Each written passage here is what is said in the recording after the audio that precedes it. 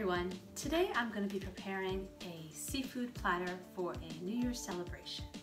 So earlier on I made a salmon pate which you can find the ingredients on our channel and the step-by-step -step on how to make it.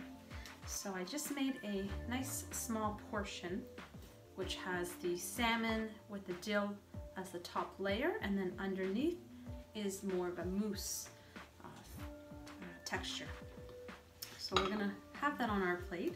And then I have some shrimp that I've cooked up.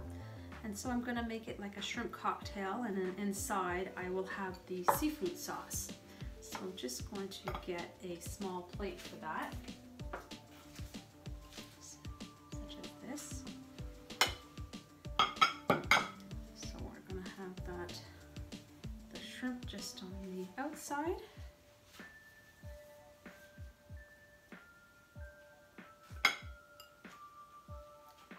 And then I'm going to be putting the seafood sauce in the middle of that container so it's easy to dip.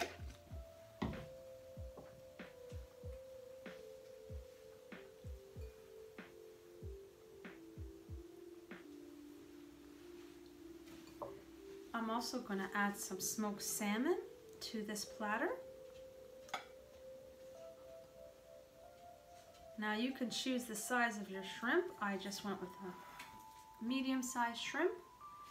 And then I have some smoked salmon with dill, which I'm just gonna place off to the side. And beside that, I'm gonna put some cream cheese because uh, smoked salmon always goes well with um, cream cheese.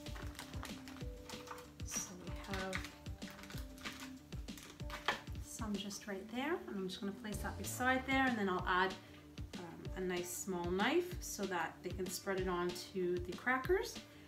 I'm going to garnish this platter with some fruit. So you can either do grapes like I have here you can do strawberries berries it's up to you. Just adds that nice little touch to the platter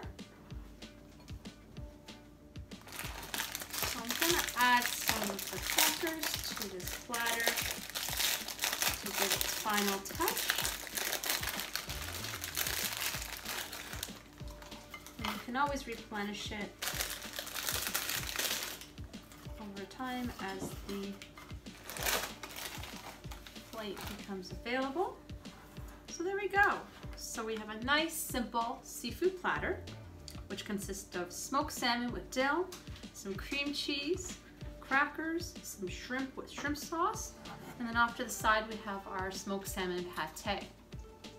Now I hope you enjoyed this recipe and step-by-step -step how to put it together. And if you want to see more like this, please subscribe to our page, share it, like it, and hit that bell notification button. Thank you.